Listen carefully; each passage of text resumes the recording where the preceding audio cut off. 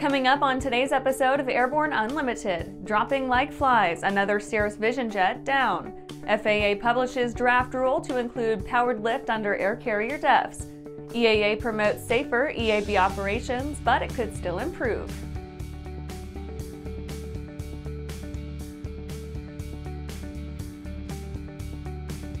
Welcome to Airborne Unlimited. I'm your host, Holland Lee. Let's get into today's stories.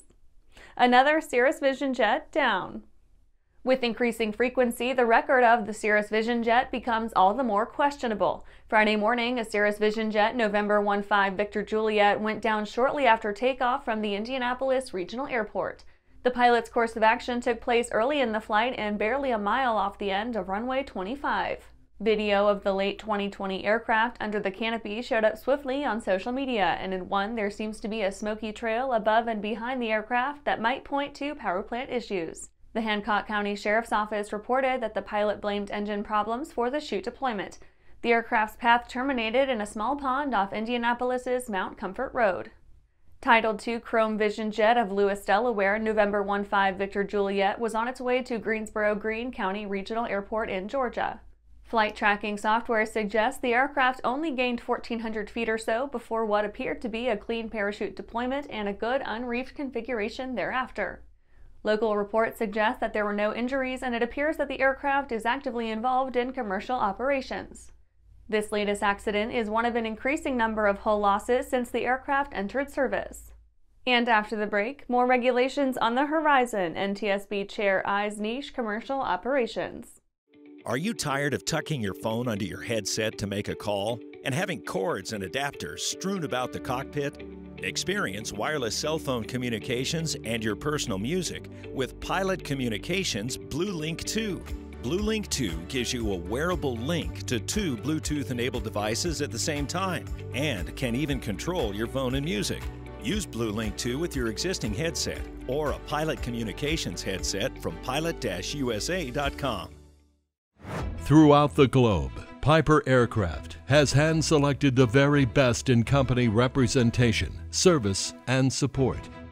From first inquiry to acquisition to product support, Piper Aircraft ownership is seamless and worry free.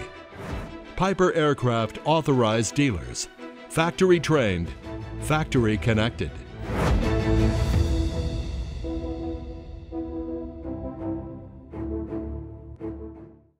Skyleader Aircraft offers a lineup of the most powerful, durable, and efficient light sport aircraft in the industry. From trainers to roomy cockpits for long hauls, Skyleader has an aircraft for you. And the best part? They're in your budget.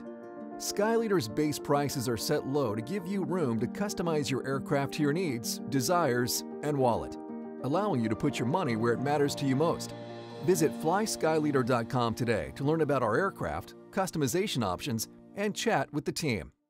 Welcome back. Now let's take a trip around the patch for some other interesting stories. NTSB Chair eyes niche commercial operations. A recent statement supporting additional regulation by NTSB Chair Jennifer Homendy might chart the course for incoming rulemaking if the FAA listens. Homendy referenced an NTSB report pushing for additional oversight and regulation over a number of niche passenger operations, under an investigation regarding what the board calls Part 119 exploited activity, the NTSB collated a number of off the wall flight operations that it believes require some additional rulemaking to end. Activities like parachute jump flights, commercial glider sightseeing flights, or aerial photography flights as tourist journeys all incurred previous investigations. Mars Ingenuity Flight 34 was short but significant. Ingenuity Flight 34 may not be a standout. Even shorter than Ingenuity's first flight, Tuesday's successful 18 second flight simply popped up to a little over 16 feet, hovered, then landed. Over the past few weeks, the operations team has been at work installing a major software update aboard the helicopter. This update provides Ingenuity two major capabilities hazard avoidance when landing and the use of digital elevation maps to help navigate. No holiday for USCG MH-60 Jayhawk. No holiday rest for the Coast Guard as they rescued a cruise ship passenger Thursday evening near Southwest Pass, Louisiana. Watchstanders received a call from the Carnival Valor at approximately 2:30 p.m. reporting a passenger aboard the cruise ship was missing. At 8:25 p.m., a CGAS New Orleans MH-60 Jayhawk aircrew rescued the 28-year-old male who had fallen overboard Wednesday evening. The aircrew was vectored into the area by a bulk carrier who had observed a person in the water. ASA releases AirClassics push to talk switch. ASA has released a push to talk switch for GA. The switch replaces the oftentimes finicky and easily broken little red button frequently found throughout the GA fleet, providing owners with a contoured, low profile switch for their radio needs. The button's lead flows into a coiled cable for use with any two-plug COM device, allowing for easy, simple installation, i.e. plugging it in with no fuss. The PTT switch allows for a snag-free position on the yoke with plenty of extra cable for freedom of movement.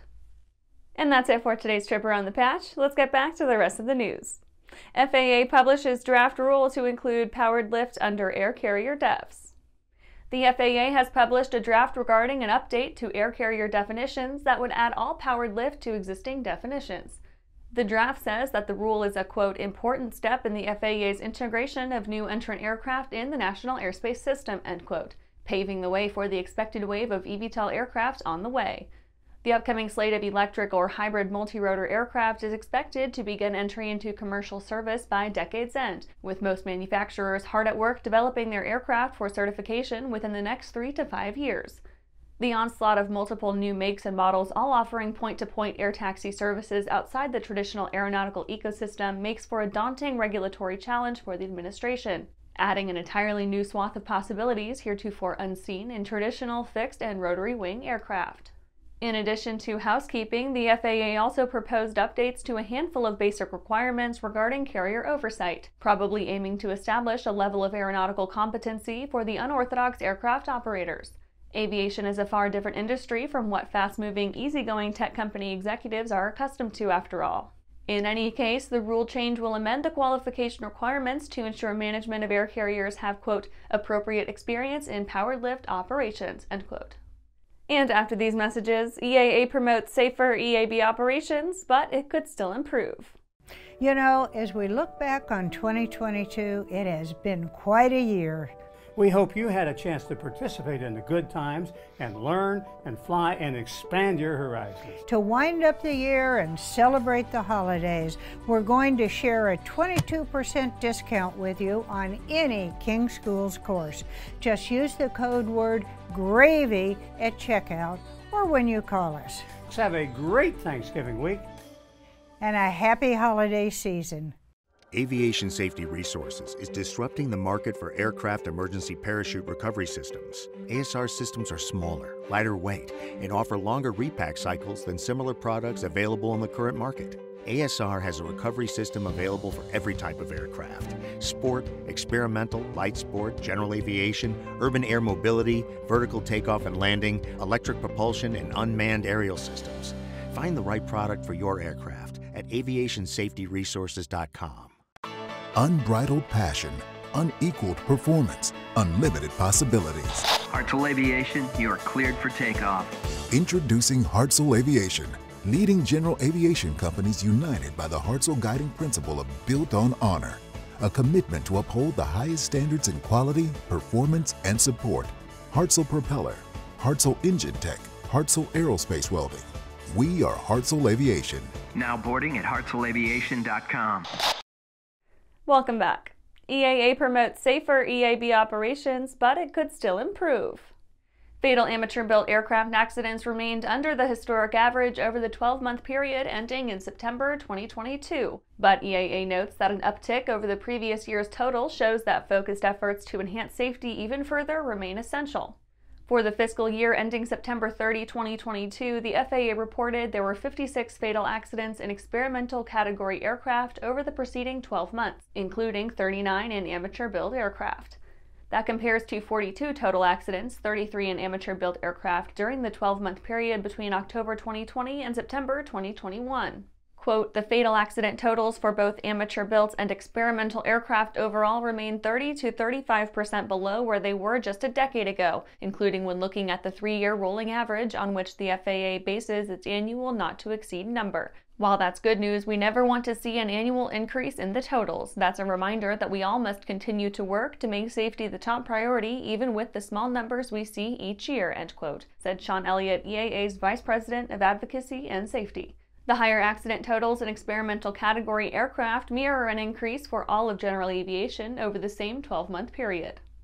And that's our show for today. You can catch episodes of Airborne on YouTube, Roku, or Fire TV. Just search for Aero News or Airborne, and don't forget to follow us on social media. Thanks for watching!